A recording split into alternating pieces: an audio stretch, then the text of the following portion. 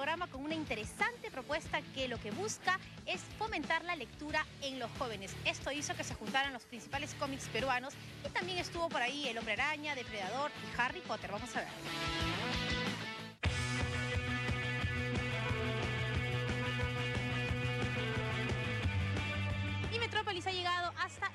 De Miraflores porque se está realizando el Día del Cómic Gratis. Por primera vez en Lima, esta importante actividad cultural. Son muchos los jóvenes que se han reunido y vamos a ver qué sorpresas nos traen.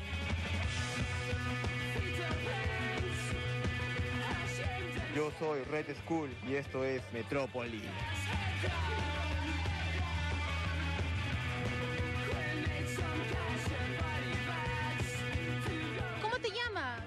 Solari, ¿Por qué elegiste este personaje?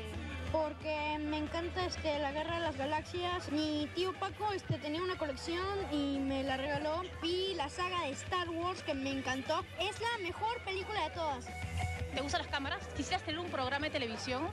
Uh, de lo mejor sería famoso. ¿Sí? TV Perú, mucho más que ver.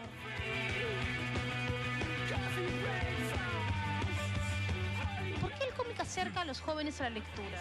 Es algo así como las imágenes acompañadas de letras incentivan mucho que la gente lea. Es bastante arte que no, no lo conoce y es una buena forma de acercar eso a las personas. ¿no? De parte del legado Potter, un saludo para Metrópolis.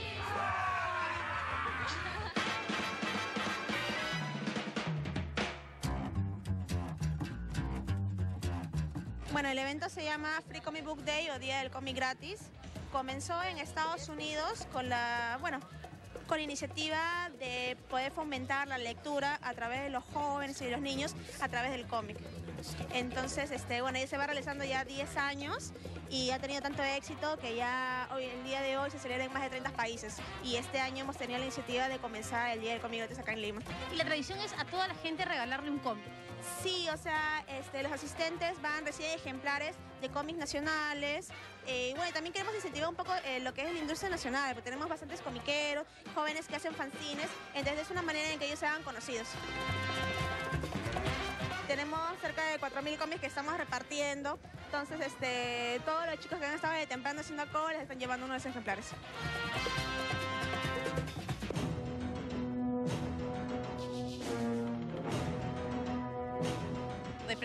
Cuéntame, ¿cómo así Felipe decidió vestirse de este personaje?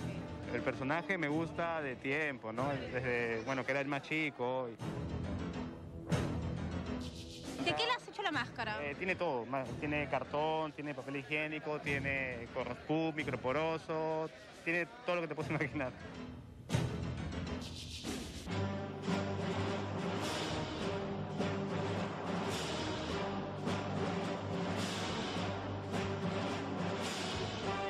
Bueno, mi personaje es Starkiller, el aprendiz de Darth Vader en el juego Force Unleashed. Quiero mostrar tu identificación. Miren cómo es su identificación. Dice Staff Gary Condori Riega, entrenador duelista de Lightsabers.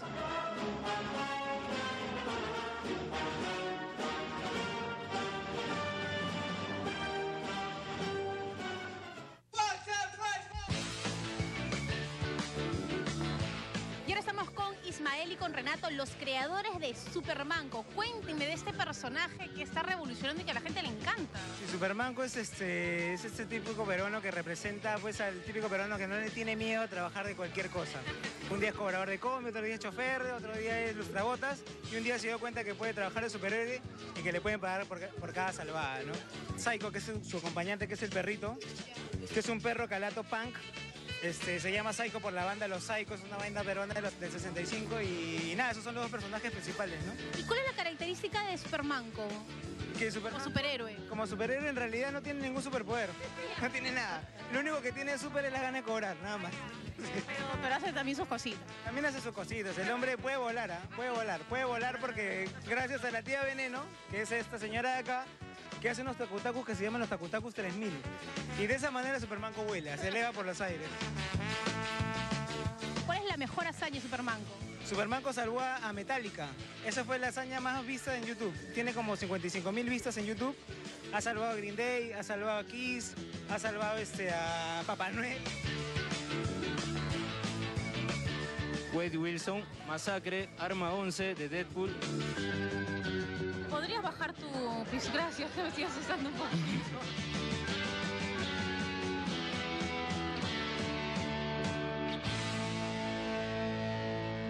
Hola, ¿qué tal? Soy Marley Pisani y estás en el Free Lima Comics y estás viendo Metrópolis.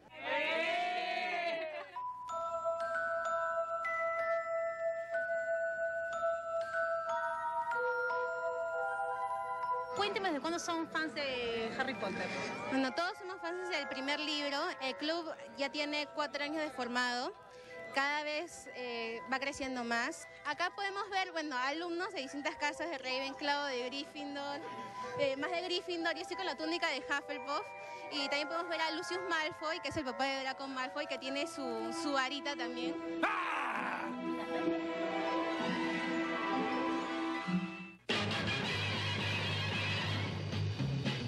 Bueno, un saludo para Metrópolis de parte de Spider-Man y de Marvel Perú.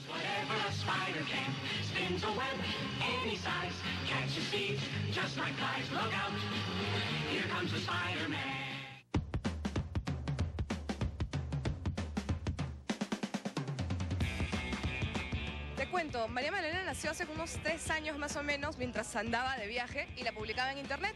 Publicó una viñeta diaria durante tres años, así que hay un blog que es www.soylamagdalena.com que ya lleva como 900 viñetas y algunas de ellas, las que más me han gustado, las volví a redibujar y las saqué en cuatro ediciones de libritos.